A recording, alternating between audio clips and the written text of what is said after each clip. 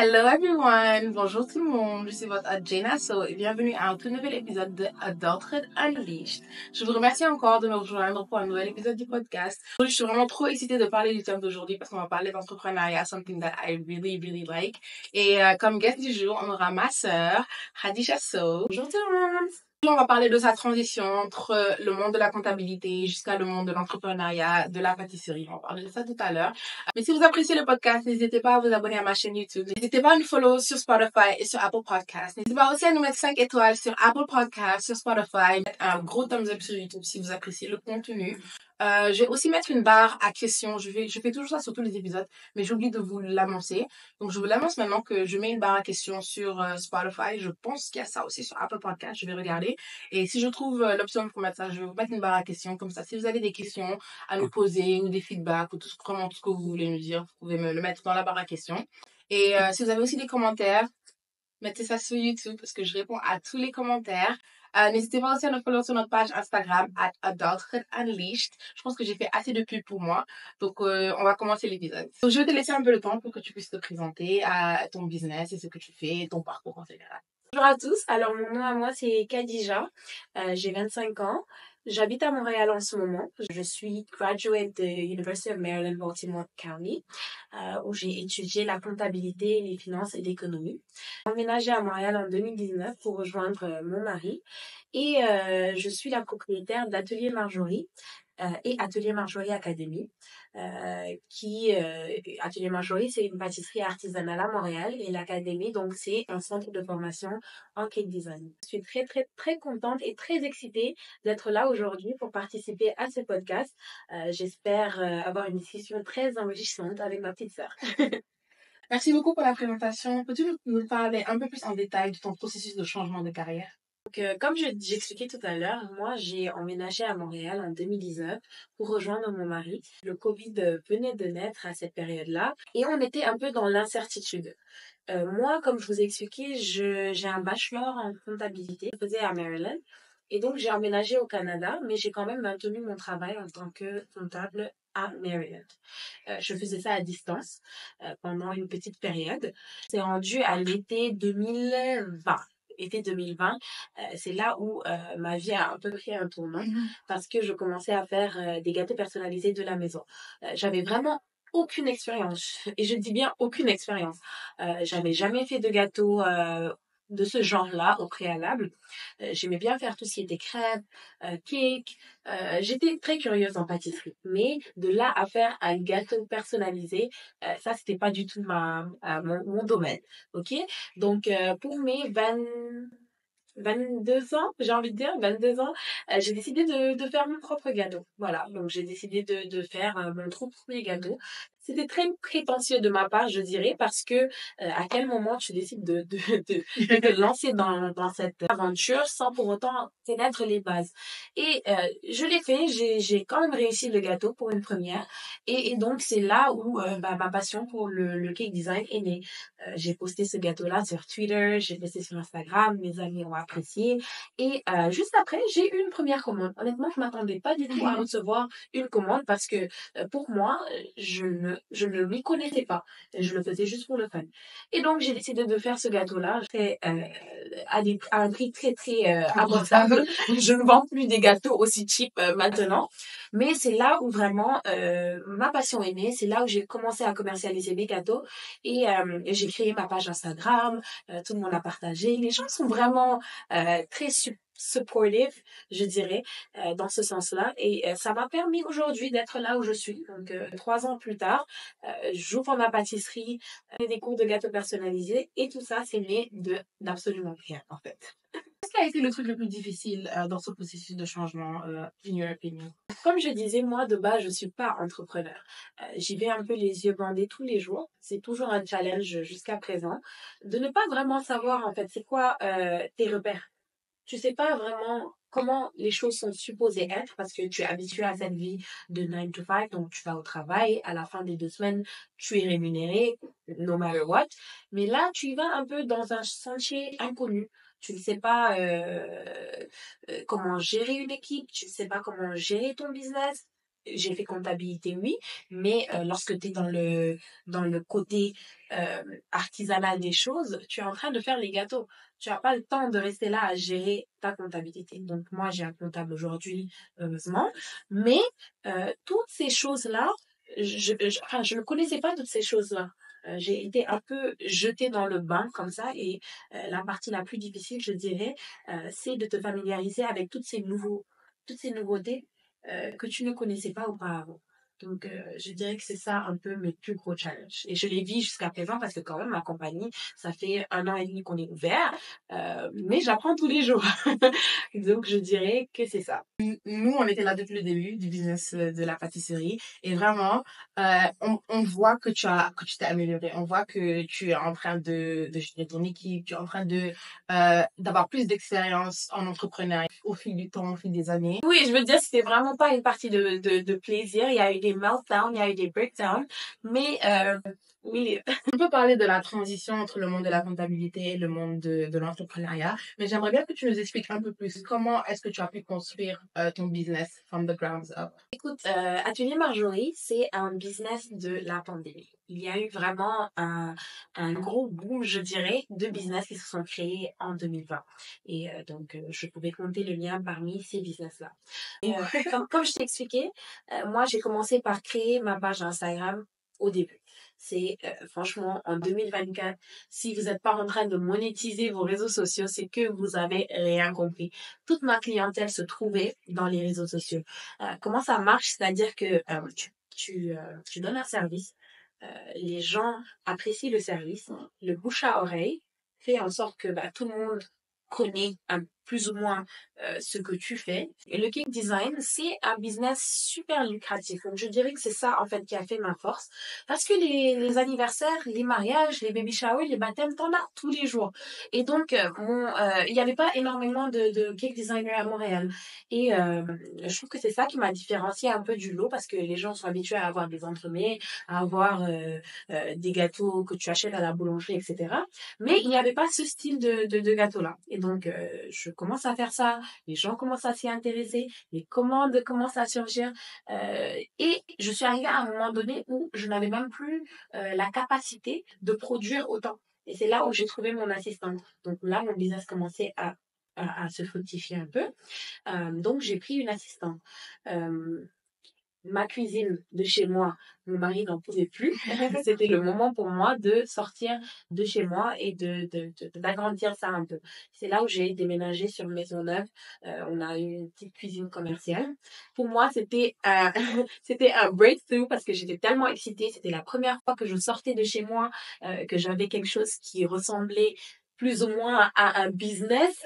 Euh, et c'est à ce moment-là que j'ai quitté mon travail. Donc, mon 9 to 5 en tant que comptable, c'est à ce moment-là que je l'ai quitté. Ça euh, je pense que c'était un an après, ou bien peut-être huit mois ou neuf mois après, que j'ai quitté mon travail parce que je suis arrivée au point où euh, j'étais mieux payée en tant que cake designer qu'à mon propre travail. Là où je salue un peu l'entrepreneuriat parce que euh, c'est euh, ce genre de choses que tu n'auras jamais dans ton 9 to 5. Après, il y a d'autres choses qui viennent en jeu, qui rentrent en jeu, etc.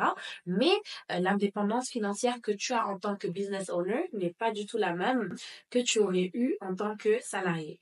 Euh, donc, euh, fast forward en 2022, euh, j'ai eu l'opportunité d'ouvrir ma première boutique donc sur Saint-Laurent. Euh, j'ai laissé la cuisine commerciale et j'ai déménagé sur Saint-Laurent. Là, les choses commencent à être sérieuses. Là, il faut maintenant euh, compter ta compagnie en- dans le registre des entreprises à Montréal, euh, commencer à déclarer les impôts, prendre un staff. Il y a beaucoup, beaucoup de choses qui rentrent en jeu maintenant. Et c'est ça, en fait, l'histoire de Atelier Marjorie, entre autres. Est-ce qu'on peut zoomer un peu plus sur euh, ta transition entre la cuisine commerciale et euh, euh, la boutique Atelier Marjorie? Comment est-ce que tu as pu trouver le local? Comment est-ce que tu as pu te placer et comment tu as pu trouver une bonne équipe? La transition de la cuisine commerciale à la boutique, c'était une transition plutôt fluide, je dirais. Il n'y a pas eu de moment où j'ai douté un peu ou quoi que ce soit. J'étais prête à ce moment-là, en fait, à passer à l'étape suivante. Et pour moi, la boutique, c'était la seule solution. Comme j'ai dit, donc les gens, euh, ma cuisine commerciale, c'était fermé au public. Les seules fois où les gens, en fait, rentraient dans la cuisine, c'était pour récupérer leur gâteau. Et ils restaient quand même dans la salle d'attente. Donc ce jour-là, j'ai une cliente, elle s'appelle Inès. Euh, elle est venue récupérer son gâteau à la pâtisserie. D'habitude, les gens, ils n'ont pas trop de conversation avec moi. Euh, ils viennent, ils prennent leur gâteau et ils partent. Mais elle, elle est venue en avance, j'avais pas encore fini son gâteau, donc je travaillais et on discutait en même temps. Donc je, elle me dit, ah mais j'aime bien euh, ta cuisine commerciale, vraiment naturellement comme ça, il y avait rien du tout. Euh, je lui dis, oui, mais euh, moi j'aimerais bien bouger d'ici un peu, euh, j'aimerais pouvoir m'agrandir, mais malheureusement il n'y a pas énormément de locaux commerciaux à Montréal et j'avais ce challenge là ce que je fais, euh, elle, elle me dit qu'elle est agent immobilier. tu te rends compte en fait euh, de la gravité des choses.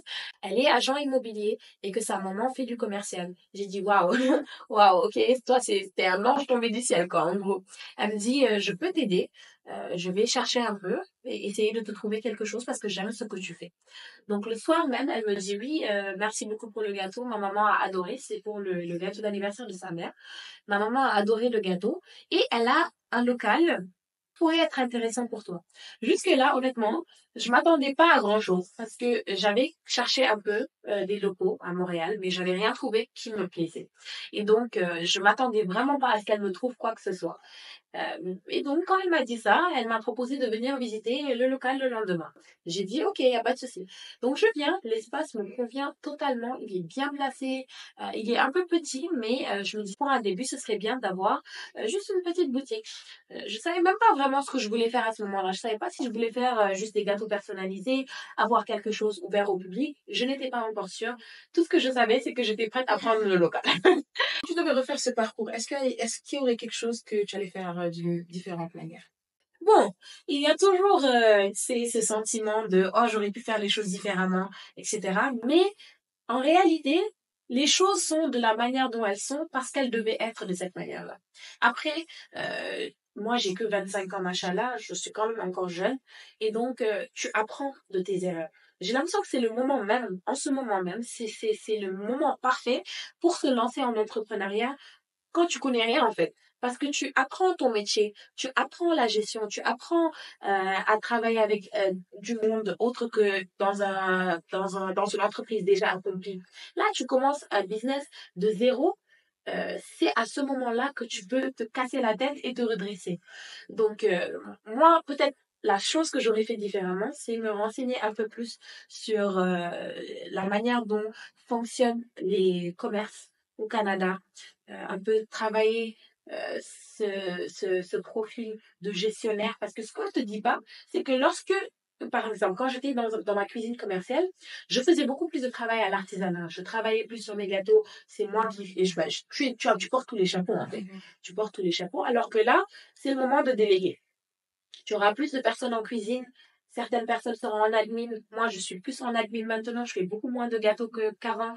Euh, C'est, ça me dérange et ça me dérange pas parce que ça, ça me permet euh, de, de, de, de, de travailler plusieurs métiers, donc porter encore plus de chapeaux.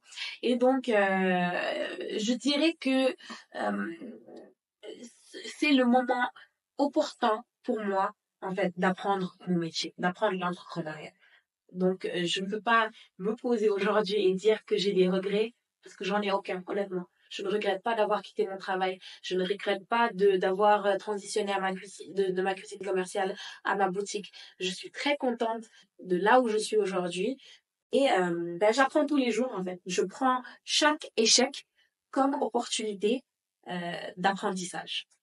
Il y a déjà beaucoup de pâtisseries à Montréal qui font, on va dire, la même chose que toi, ce que tu fais. Euh, donc, comment est-ce que tu as pu te distinguer euh, dans ce marché, dans ce nouveau marché? Alors, il y a deux points que je vais aborder. Parce que je t'avais déjà expliqué que moi, euh, quand je commençais, il n'y avait pas énormément de cake designers à Montréal. Encore moins de cake designers sénégalaises. Donc là, déjà, je prends euh, ma communauté euh, et je m'implante en tant que cake designer. Euh, les gens ne connaissaient pas vraiment, c'était pas très très populaire. Euh, et donc, dans un premier temps, moi, ça m'a permis de me différencier du lot vu qu'il n'y avait pas encore de lot. Tu vois ce que je veux dire? Euh, Le deuxième point que je veux aborder, c'est que encore une fois, le cake design, c'est un milieu lucratif, c'est un métier lucratif. Les gens ont toujours besoin de ce service-là. euh, ça, ça, tu peux même pas te dire à un moment donné que ça va être démodé parce qu'il y a toujours un moyen euh, de euh, faire des changements en fait sur ce que tu proposes. Par exemple, euh, en 2021-2022, les gens étaient vraiment euh, sur les trompe-l'œil, donc les gâteaux en forme de sac, les gâteaux en forme de chaussures, etc. Euh, maintenant, en 2023, 2024, 2023, 2024, les gens aiment plus les gâteaux vintage, un peu bento, les petits gâteaux avec un petit texte minimaliste. Tu vois, il y a toujours des nouveautés dans le dans le domaine du cake design. On ne trouvera jamais, à mon avis, euh, dans une position où tu te diras que ça va être démodé ou que les gens n'auront pas besoin de ton service parce que c'est aussi lucratif que ça. Tu t'appelles Khadija So. D'où vient le nom Atelier Marjorie? Est-ce que tu peux expliquer aux personnes qui nous écoutent pourquoi est-ce que tu as choisi ce nom pour euh, ta pâtisserie? Euh, c'est une histoire assez drôle. Euh, les gens pensent souvent que je l'invente de toutes pièces, alors que c'est vraiment ce qui s'est passé. Euh, je sais que certains pensent que je suis complexée, c'est pour ça que j'ai appelé ma pâtisserie Marjorie, mais en fait pas du tout. Donc moi, comme j'ai dit avant, je travaillais en comptabilité. Je travaillais dans un cabinet et une de mes clientes s'appelait Marjorie. Et en fait, je pensais tellement au travail à ce moment-là, parce que franchement, euh, c'est la seule explication possible pour moi. Oh pourquoi j'ai rêvé euh, d'avoir un business qui s'appelait Atelier Marjorie. De base, le rêve, ça disait que c'était... Euh, ça disait même pas en fait ce que c'était réellement. Ça disait juste que j'aurais un business à succès. Moi, euh, honnêtement, je me suis réveillée à 3 heures du matin ce jour-là. J'ai réveillé mon mari, je lui ai dit, Abdul, il faut que je trouve quelque chose à faire. Parce que moi, j'ai fait le rêve de ma vie. Euh, là, j'ai rêvé d'avoir un business qui allait s'appeler Atelier Marjorie qui allait être, qui allait avoir du succès. À ce moment-là, je me suis dit, OK, je sais pas trop ce que je fais. Euh, je viens m'emménager à Montréal. Moi, j'aime l'art. J'aime tout ce qui est artistique, tout ce qui est artisanal. J'adore. Euh, donc, je me suis dit, peut-être, je vais faire des bijoux. Je vais, je vais vendre des bijoux. Euh, j'ai exploré le, le, le, le, business model un peu. Et après, je me suis dit, peut-être pas. Euh, j'aime bien tout ce qui est pâtisserie. Donc, pourquoi pas? Créer mon blog Atelier Marjorie en pâtisserie. À ce moment-là, je vendais pas encore des gâteaux. J'avais juste créé le blog et je partageais, des recettes là-bas. Mais euh, j'avais pas encore commencé à vendre des gâteaux. Et donc, c'est de là où est né le nom Atelier Marjorie. Jusqu'à présent, j'ai euh, décidé de garder ce nom en hommage à mon d'Atelier Marjorie. Euh, on a assez parlé de Atelier Marjorie, la boutique, mais comment est-ce que tu as pu commencer Atelier Marjorie Academy? Parce que c'est quand même deux choses différentes, deux business models différents. Donc, comment est-ce que tu as pu euh, faire la transition entre Atelier Marjorie, euh, la boutique, et Atelier Marjorie Academy? D'où est venue l'idée de commencer Atelier Marjorie Academy? Parce que je trouve quand même que the idea is genius. So how did you think? Alors, je vais pas me lancer des fleurs à 100% parce que mon mari, il a eu un impact énorme sur cette, euh, ce, ce, deuxième business venture. Euh, c'est lui qui a eu l'idée de faire Atelier Marjorie Academy. Et la raison pour laquelle il a eu cette idée, en fait, c'est parce que euh, lorsque j'avais fait mon premier gâteau, donc en 2020, j'étais persuadée qu'il fallait que je fasse des cours, en fait de pâtisserie. Euh, parce que moi, j'ai grandi dans un environnement assez conventionnel. Mes parents, ils croient beaucoup aux études. Ils pensent beaucoup au diplôme. Ma grand-mère, oh my god, paix à son âme, elle était vraiment fanatique de tout ce qui est université, tout ce qui est degree. C'était vraiment la seule option qu'on avait. Et donc, moi, dans ma tête, je me disais pas que c'était possible en tant que personne de d'apprendre de soi-même en fait. Et euh, j'ai appris à faire des gâteaux personnalisés toute seule, mais j'ai vraiment magasiné à ce moment-là euh, sur euh, les opportunités d'apprentissage dans le marché. Et il n'y en avait aucune. Il n'y avait aucune personne qui donnait des cours en cake design, ce que je ne comprends pas jusqu'à présent, honnêtement.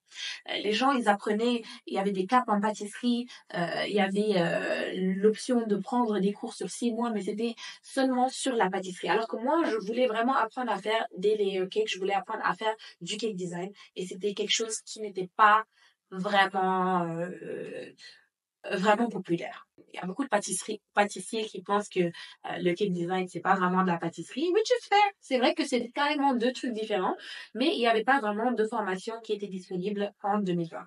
Et euh, pour euh, remédier à cela, donc euh, tel un, un réel entrepreneur qu'il est, euh, il essaie de trouver une solution à un problème. Et donc, c'est là où il s'est dit, mais pourquoi pas lancer Atelier Marjorie Academy, une plateforme de formation pour tous ceux qui sont intéressés par le, layer, le, le, le design.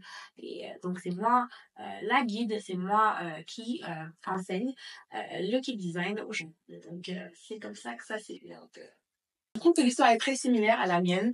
Quand on a commencé sur Bumdos, notre marque de, fossiles 3D, euh, en fait, on a trouvé un trou dans le marché, un manque qu'on s'est dit que, OK, on va remplir ce manque.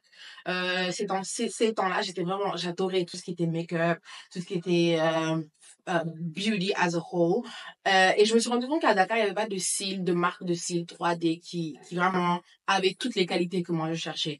Et euh, je, vraiment, ce bundle, c'est venu et c'est un business qui m'a vraiment choqué parce que ça a marché dès le début. Et j'ai pas eu beaucoup de formations, j'avais 16 ans, j'ai pas eu beaucoup de formations en business, j'ai pas eu beaucoup de formations en finance, mais c'est quand même un business qui a, qui a duré, on va dire, peut-être je pense 4 5 ans. Donc quand même pour une petite fille de sa chambre qui a un petit investissement, qui commence un petit business, ça m'a époustouflée parce qu'on a pu faire vraiment des choses inimaginables vraiment à mon âge. Et je trouve que c'est un peu la même chose que tu as fait avec Atelier Marjorie Académique. Il s'agit vraiment juste de trouver un trou dans le marché et essayer de remplir ce trou. De personnes qui commencent des business et euh, il n'y a pas vraiment d'originalité, on va dire. Il n'y a pas, il a pas de valeur ajoutée. Tu, tu proposes que ce que tout le monde a déjà proposé. Et je trouve que ça, c'est quelque chose de très important dans l'entrepreneuriat. Il faut non seulement, ok, peut-être que toi, tu as les mêmes produits que toutes les autres personnes, mais comment est-ce que toi, ton produit peut, te, peut se différencier euh, de la masse? Je trouve que le point que tu as mentionné est très intéressant. Je te félicite pour ça, parce que je me rappelle, euh, tu avais 17 ans, 16, 17 ans, et moi, je devais avoir 21 ans, je me disais, waouh, mais c'est gagné, qu'est-ce qu'elles sont en train de faire? C'était incroyable pour moi, honnêtement. J'étais tellement fière euh, de, de, de, de porter tes cils, de porter tes, tes perruques. J'ai acheté peut-être cette perruque. euh, mais euh, c'était époustouflant pour moi. Et moi, je trouve que, honnêtement, euh, les business peuvent se ressembler. Ils peuvent se ressembler, mais c'est important de rester soi-même et de ne pas se perdre dans ce que tu fais. Parce qu'il y en a beaucoup, en fait, qui rentrent dans l'entrepreneuriat avec espoir euh, de se faire de l'argent. Tout simplement de ne, de, de, de ne pas travailler pour quelqu'un d'autre, de vivre une vie d'indépendant, euh, de se réveiller à l'heure que tu veux, mais ça, c'est totalement faux. En tant qu'entrepreneur, tu travailles 15 fois plus, je dirais, qu'une qu'un salarié, en fait. Parce que le salarié, lui, il a l'option de euh, fermer son ordinateur à 17 heures. À moins que tu aies des overtime et que tu sois dans une position assez euh, high dans, ton, dans ta compagnie, je vois pas pourquoi est-ce que tu répondrais à des emails à 21 heures. Mais ça, c'est, je, je, généralise, mais ça peut changer. Euh, L'entrepreneur, lui, euh, il n'a pas de pause. Moi, on m'écrit à 2 heures du matin, on me dit que la pâtisserie est, il y a quelconque problème, mais je me barre, je retourne à la pâtisserie, tu vois. Euh, moi, j'ai eu des fois où j'ai dormi à la pâtisserie, tu vois. Euh, tout ça pour dire, en fait, que euh, il y a une misconception de, sur l'entrepreneuriat. Les gens pensent que c'est, en fait, ça s'est idéalisé avec le, avec le Covid, etc. Les gens pensent que l'entrepreneuriat, c'est le paradis. Je suis là pour te dire que ce n'est pas le cas. Et que euh, si tu n'es pas prêt à faire les sacrifices qu'il faut, euh, ça ne va pas fonctionner. C'est pour ça que tu vois plein de personnes qui commencent des business, au bout de trois mois, ils arrêtent. Non seulement parce que le travail est dur, mais ils sont pas passionnés réellement de ce qu'ils font. Et c'est tellement important d'aimer ce que tu fais, parce qu'il n'y a pas moyen que tu continues là-dedans si tu n'aimes pas ce que tu fais. Moi, honnêtement, les coups que j'ai pris sur ces trois ans de, de, de, de pâtisserie, euh, je ne vois pas, en fait, euh, si j'étais pas réellement passionnée sur ce domaine-là, je vois pas, en fait, comment une personne reste là-dedans. Concrètement, euh, il y a eu des mois où je me payais pas, il y a eu des mois où euh, je travaillais totalement gratuitement, je passais mes nuits à travailler, c'est c'est une vie de merde. Excuse-moi pour le pour le mot mais c'est une vie de merde. Donc euh, je suis vraiment passionnée sur ce que je fais et c'est la seule raison pourquoi je suis toujours dedans est-ce qu'on peut aussi parler de la persévérance? Parce que en te connaissant en étant ta sœur je sais que qu'il y a des jours où tu t'es dit que ok je ferme tout je jette les clés la pâtisserie c'est fini. Donc comment tu as pu naviguer euh, on va dire ces challenges qui sont venus euh, lors de lors de la création d'Atelier Marjorie? La persévérance en fait c'est qui revient beaucoup en fait dans mon parcours en tant qu'entrepreneur. Ma pauvre maman, je l'appelle tous les jours pour lui dire que je laisse tomber. Euh, je suis en pleurs, je suis en crise, je suis en panique. Mon mari, il en a marre. Euh, mais c'est la réalité des choses, tu vois. Euh, tu arrives euh, des fois, tu, tu reçois des coups qui sont tellement violents que tu te dis en fait pourquoi est-ce que je fais réellement ça? Et c'est pour ça que c'est tellement important à ce moment-là de connaître ton why, connaître ton pourquoi. Pourquoi est-ce que je me réveille tous les jours? Pour aller au travail Pourquoi est-ce que je fais tous ces sacrifices pour mon, commerce? Je sais que je diabolise un peu l'histoire, mais il euh, y a du bon côté aussi. C'est juste qu'il y en a aussi des mauvais et je trouve hyper important que les gens soient sensibilisés sur euh, ce sujet-là. c'est important pour toi de savoir pourquoi est-ce que tu fais tout ça. Parce que Si tu ne sais pas pourquoi, c'est aussi simple que ça de juste euh, jeter ce clé sous porte et de partir. Mais moi, je pense à toutes les heures que j'ai mis sur ce commerce-là, toutes les, tous les sacrifices que j'ai mis là-dessus. Et directement, je shift mon mindset, tu vois, en me disant, je ne peux pas abandonner là. Qui, qu'est-ce que je serais en fait si j'abandonne tout de suite? J'ai bâti cet empire, c'est des choses de, de, rien du tout. Et donc, c'est tellement important pour moi de persévérer jusqu'au bout et j'irai jusqu'au bout euh, de, de la chose. Et comme j'ai dit, la passion pour ce que tu fais. La passion et la persévérance, je trouve que tu peux avoir, tu peux avoir euh, l'un sans l'autre, Euh, donc, euh, tout à l'heure, quand je t'expliquais l'importance de, de, de, trouver une niche euh, qui te plaît, c'est ça, en fait, qui te permet de rester persévérant à chaque fois. Les crises, tu en auras, c'est obligé. Tu ne peux pas ne pas être entrepreneur sans avoir des crises de panique. Mais c'est aussi très important pour toi de savoir que ce n'est pas la fin, de rebondir, parce qu'après chaque après chaque pluie, il y a un temps, comme on dit, et de s'entourer en fait de personnes qui comprennent, qui partagent tes idéologies, qui ne te découragent pas, euh, qui essaient de te hausser vers le haut lorsque tu es dans ton bas. C'est ça en fait qui te permet, qui te donne le courage euh, de continuer dans cette lancée. Tu aurais des conseils pour les gens qui veulent se lancer dans l'entrepreneuriat ou euh, transitionner entre la vie de salarié et la vie d'entrepreneur ah, La manière dont je vois les choses, c'est que tu n'as rien à perdre. Pourquoi ne pas le faire? On est jeune, machallah. On est dans notre vingtaine, pour certains dans notre trentaine. Les études, le travail sont toujours là. Tu vois. Tu peux tenter ta chance, essayer. Et si ça marche, alhamdulillah. Si ça ne marche pas, tant pis, tu auras toujours un plan B. Tu vois.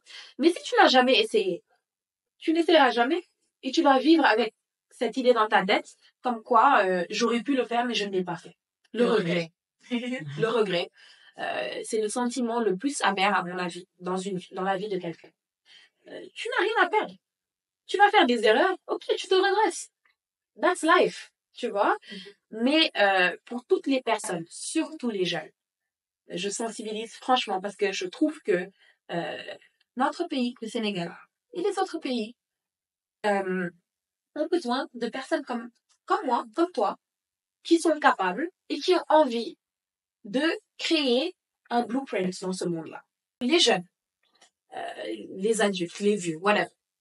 Si tu as une idée dans ta tête, ne laisse pas les euh, saboteurs de ta tête te décourager euh, dans ce que tu fais. Comme j'ai dit encore une fois, tu n'as absolument rien à perdre. Si ça marche, alhamdulillah. Et si ça ne marche pas, tu auras toujours quelque chose sur quoi tomber. Je ne dis à personne de quitter les études, hein, par contre. c'est important d'avoir au moins un diplôme. Comme ça, au moins, s'il y a euh, petite embûche, tu as toujours quelque chose à côté. Mais euh, je dirais que il est important de ne pas se laisser décourager par ce qu'il y a dans la tête. Oh, les gens ne vont pas aimer. Oh, si, oh, ça. Si tu es authentique, tu aimes ce que tu fais, tu te différencies du lot, tu n'es pas juste en train de copier quelqu'un collé. Là, tu es en train de faire ton propre truc. Je ne vois pas pourquoi ça ne marcherait pas. Et si ça marche pas, il y en a des thousands, il y en a des milliers de business. Tu peux toujours trouver autre chose, tu vois. Euh, moi, je trouve que euh, il y a ces personnes-là qui sont salariées, ce qui est très très bien, qui ont envie de construire euh, leur carrière, c'est génial. Mais si toi, tu sais que c'est pas fait pour toi et que tu te mords les doigts dans un bureau toute la journée jusqu'à tes 65 ans. Et là, tu te dis, maintenant, je veux faire mon business. C'est mieux de le faire quand tu es en, mesure, tu vois. Quand tu es jeune, tu es dynamique, tu as envie de le faire, tu vois. Je veux pas ce sentiment de regret, encore une fois. Et donc, je trouve que c'est primordial de ne pas se mentir à soi-même. Toi, tu sais ce que tu es capable de faire. Tu sais ce que tu aimes. Vas-y, tu as rien à perdre. Il y a tellement de gens qui ont peur de se lancer en entrepreneuriat parce qu'ils ont peur, en fait, de, de perdre cette stabilité qu'ils auraient eue s'ils étaient salariés. Et c'est OK. L'entrepreneuriat, c'est pas fait pour tout le monde. Euh, comme j'ai dit tout à l'heure, pour avoir les reins solides, en fait, pour pouvoir se relever à chaque embûche que tu auras. Parce qu'il y en aura. Il y en aura des embûches. Et donc, euh, je ne veux pas que vous vous dites que l'entrepreneuriat, c'est la seule issue, en fait. Si tu n'es pas fait pour être entrepreneur, ne le fais pas Mais je dis juste que moi, j'encourage ceux qui ont envie de sauter le pas, ceux qui ont envie de se lancer en entrepreneuriat. Do it. Just do it. si moi, Khadija, moi, j'ai réussi à faire ce que j'ai accompli, je ne vois pas pourquoi Jaina, pourquoi Mami, pourquoi Samba, pourquoi Fatou ne serait pas en mesure de faire tout ça. Dernière question euh, de, ce, de cet épisode. J'aimerais bien te demander comment est-ce que tu vois l'avenir de l'atelier Marjorie? L'atelier Marjorie, c'est mon bébé. c'est toute ma vie. C'est mon bébé. Je l'ai vu grandir. Euh, pour moi, euh, là où je suis aujourd'hui, ce n'est ce n'est que l'étape 1. Moi, éventuellement, j'aimerais revenir au Sénégal. J'aimerais quand même rester à Montréal parce que Montréal m'a donné énormément d'opportunités. Et donc euh, Atelier Marjorie Montréal, ça ça va rester Inch'Allah. Euh, mais j'aimerais pouvoir revenir au Sénégal. Et qui sait pouvoir euh, peut-être ouvrir plusieurs boutiques ici, euh, voir euh, ouvrir une académie carrément, une académie en présentiel parce que bon, mes cours en ce moment c'est en virtuel, c'est pas évident pour tout le monde. Il y en a qui préfèrent l'apprentissage en présentiel, donc j'aimerais pouvoir avoir une académie carrément qui est dédiée juste à ça. Euh, et Inch'Allah, on, on va là où le vent nous amène, honnêtement, avec la volonté de Dieu, le travail, la persévérance et la persistance. Euh, on peut aller loin. En tout cas, merci beaucoup, Khadija. J'ai vraiment adoré la conversation avec toi. L'entrepreneuriat, je pense que c'est un thème, thème qui plaît beaucoup aux gens qui nous écoutent. Donc, encore merci beaucoup euh, d'être venu aujourd'hui à notre épisode.